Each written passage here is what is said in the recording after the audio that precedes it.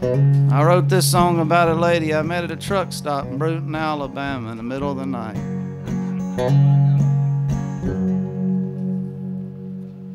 Her name was Arletta, so I wrote a song about it.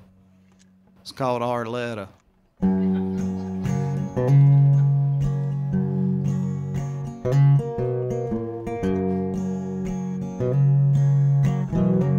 Well, she wore a calm smile in that old truck stop diner, like she'd been thinking about better days. And the wrinkle on her brow and that salt and pepper hair could never hide such a lovely face. And I said, How you doing, ma'am? Would you mind if I sat down try to figure out where I'm going next? She said, My name is Arletta. And I said, Oh, what kind of name is that?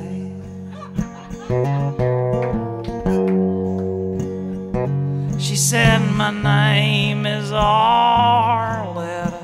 And I said, Oh, what kind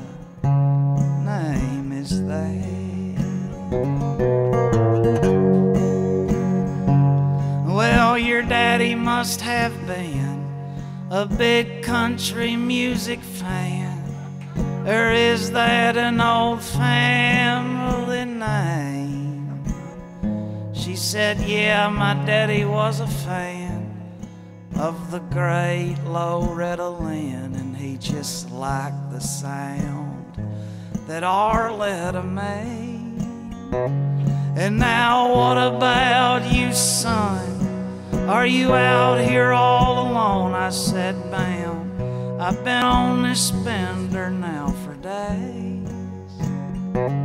And frankly, I would loved the fella that called his daughter Arletta just for the sound that it made.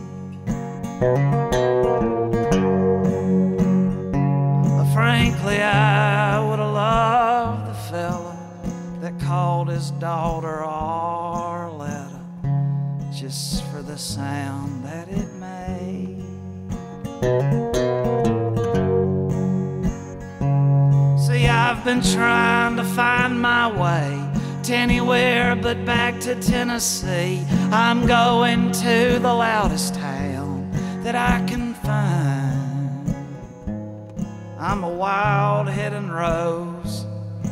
I'm like a song sung to no one. I'm just pretty in my own mind. And like old Wild Bill, I like this hand that I've been dealt. But it's hard to play it when you're under the gun. Well, Arletta said, son, you just go on and but you can't handle sevens every time. Well, Arletta said, son, you just go on and run, but you can't handle sevens every time.